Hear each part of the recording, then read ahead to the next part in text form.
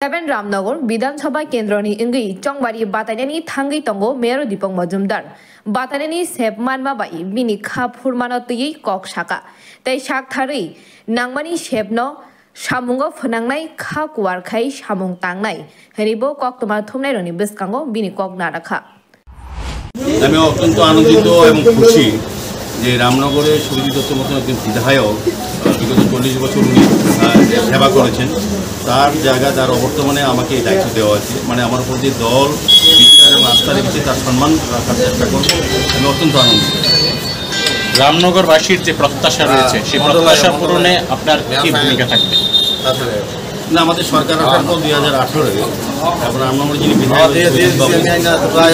রামনগর এলাকার মানুষের সমস্ত চাহিদা বা সমস্যার নিরসনের জন্য সরকার কাজ করছেন তো আমিও চাইব যে কাজগুলি সুরজিৎবাবু করার ইচ্ছে ছিল করতে পারেননি শেষ করতে পারেননি। ওনার অকাল করানো হয়েছে। সেই কাজগুলি আমি যখন করব নতুনভাবে এলাকার লোকের সঙ্গে কথা বলব তখন বাড়ি বাড়ি পর্যায়ে যাব মানুষের সঙ্গে কথা বলব তাদের সমস্যার সম্বন্ধে অবহিত হব। আমি যেহেতু পরিণত মেয়র ছিলাম আমি ওই এলাকার যারা কর্পোরেটর সঙ্গে আমার দীর্ঘ দীর্ঘ সময় সবসময় কথাবার্তা হতো কাজে আমি এই এলাকার সম্বন্ধে জানি এবং দীর্ঘদিন সুরজিৎবাবুর পাশে থেকে এলাকার সমস্ত কাজে আমি যুক্ত ছিলাম।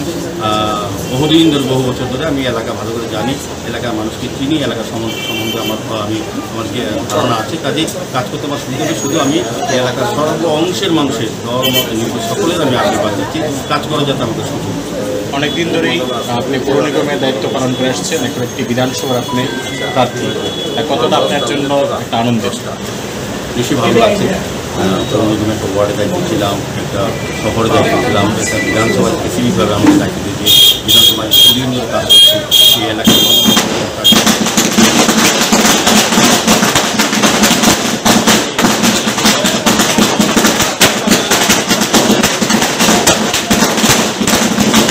সেই কাজ করেছি আগেও, আমি চেষ্টা করব আপনাদের সমস্ত সমস্যার সমাধান করার জন্য। রাজ্য সরকারের সঙ্গে থেকে মাননীয় মুখ্যমন্ত্রী সরকার আছে, আমাদের পৌর নিগম আছে, পৌর নিগম কাজ করছেন এবং বিধায়ক সুরজিৎ দত্ত চল্লিশ বছর ধরে এই রামনগর মানুষের জন্য সেবা করে গেছেন।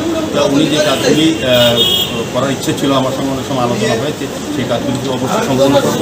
পাশাপাশি নতুন কাজ, নতুন সমস্যা সমাধানের জন্য এলাকার লোকের সঙ্গে কথা বলে, এলাকার কার্যকর্তার সঙ্গে মানুষের সঙ্গে কথা বলে, এবং যারা ভোট সম্মান জানিয়ে আমি আপনার প্রতিনিধিত্ব করছেন ইন্ডিয়া জুটে রতন দাস, কি বলবেন? প্রতিদিন আমি কোনো জোটে কথা বলব না, প্রতিদিন তো নিশ্চয়ই একজন একজন করবেনই ওনার মতো করে কাজ করবেন ওনার মতো করে ভোট চাইবেন। এখন রামনগর বাসীরা ঠিক করবেন কাকে সবসময় পাওয়া যাবে, কাকে দিলে পরে তাদের কাজগুলি হবে এবং তার প্রতি তাদের আস্থা রাখবেন তারাই নির্ণয় করবে। যে আমি আপনাকে যেটা দলে হয়ে ভোট চাইব সার্বিকভাবে দলের বাইরেও যারা আমাদের সঙ্গে অন্য দল করে তাদের কাছে চাইব যে আমাকে একটা সুযোগ দিন। দেখুন, আমি তো আগরতলা পৌর নিগমে কাজ করেছি চেষ্টা করেছি আপনার সবাইকে সুন্দর করা পরিষেবা রাখা সেক্ষেত্রে রামনগরকে সুন্দর চেষ্টা করব সেক্ষেত্রে যারা আমার আস্থা রেখেছে। আমার বিশ্বাস রামনগরবাসী, আমার রামনগরবাসীর সঙ্গে অনেক দীর্ঘদিনের যোগাযোগ আমার বিশ্বাস আমাকে আশেপাশে সুযোগ দেবে। আগরতলা নিসিমি প্রণামী কক্ষ ব্যুরো রিপোর্ট, খম্পুই।